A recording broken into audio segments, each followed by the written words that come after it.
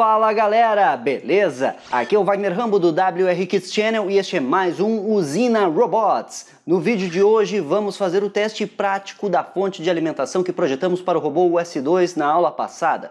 Vamos conferir o funcionamento do robô já com a sua bateria final. Vai ser bem interessante e vamos testar inicialmente na bancada e nas próximas semanas devemos colocar o robô no chão e ver a movimentação dele, as primeiras movimentações com o rádio controle. Esse vídeo é um oferecimento da Usina Info. Acesse usinainfo.com.br e confira todos os produtos. Tem kits de robótica para você, kits de desenvolvimento, muitos componentes, muitas ferramentas. Confira, o link está aqui embaixo, usinainfo.com.br, já faça o seu cadastro. Vamos ver o diagrama esquemático da fonte de alimentação e fazer o teste na bancada. Let's get started!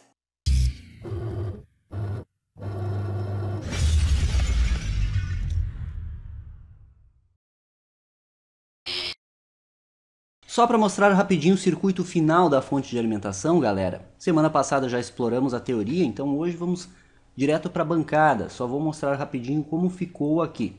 Nossa bateria será uma bateria LiPo de 14,8 volts nominais e 4.000 mAh. Então uma bateria que nos possibilita alimentar muitas cargas para este robô e vai, ter um, vai provocar um funcionamento bem estável na nossa unidade, o que é desejável. Aqui estou representando com 14 volts, mas, mas lembrem-se que a tensão nominal é 14.8 volts.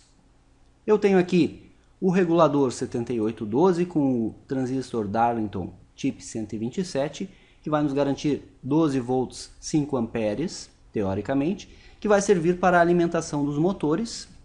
E tenho aqui o 7805 com o chip 127, que vai nos garantir 5 volts por 5 amperes para os circuitos lógicos, receptor do nosso rádio controle e as cargas de 5 volts, bem como os relés da ponte H.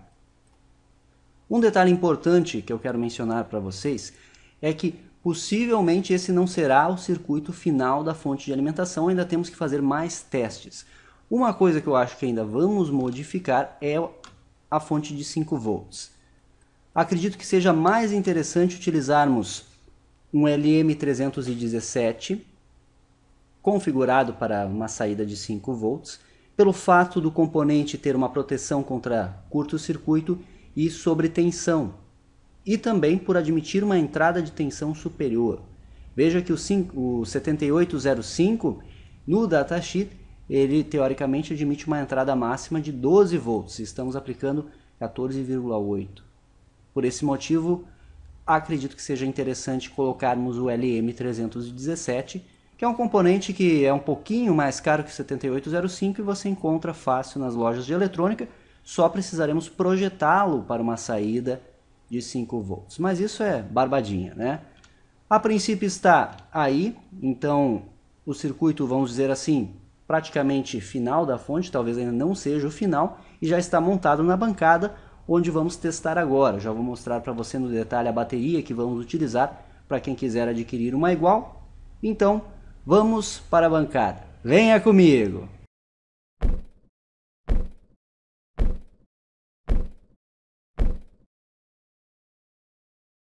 Estamos aqui na bancada com tudo pronto para realizar os testes. Olha só, galera, que bacana. Aqui estão os circuitos lógicos. Inicialmente estamos utilizando um Arduino Uno, com o código que você já viu.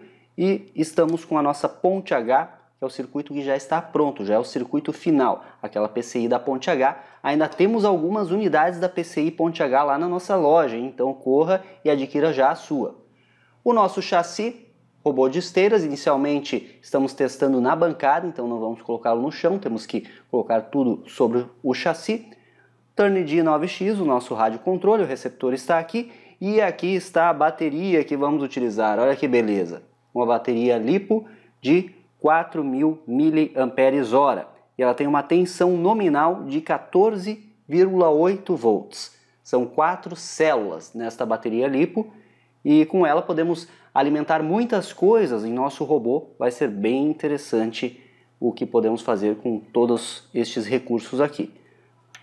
Vamos fazer a ligação, o rádio controle já está pronto e vamos mostrar o funcionamento. Vou conectar aqui a alimentação.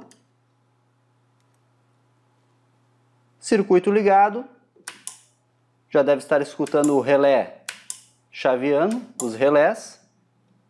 E aí está nosso robô se movimentando. PWM funcionando legal. Consigo controlar o sentido dos motores e também acionar a ré.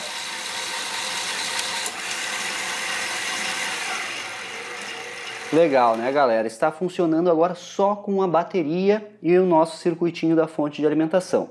Como eu mencionei na parte teórica, muito provavelmente os circuitos de 5 volts vamos utilizar um LM317 para alimentação, pela questão da proteção contra sobrecarga e curtos-circuitos que o próprio componente já tem internamente, e também pelo fato do 7805 não admitir uma tensão muito alta em sua entrada. Então isso pode ocorrer algum problema com o passar do tempo com a utilização do robô. Já evitando esse problema, vamos implementar então, muito provavelmente, com o LM317. Os circuitos aqui, os transistores e os reguladores estão frios, está tudo legal, bem bacana também. E os nossos MOSFETs estão gelados aqui, acredite você. Então, show de bola. Como você pode ver,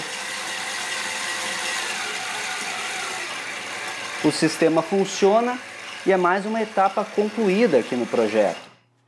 Vamos verificar ainda brevemente o consumo total. Eu vou pegar aqui o amperímetro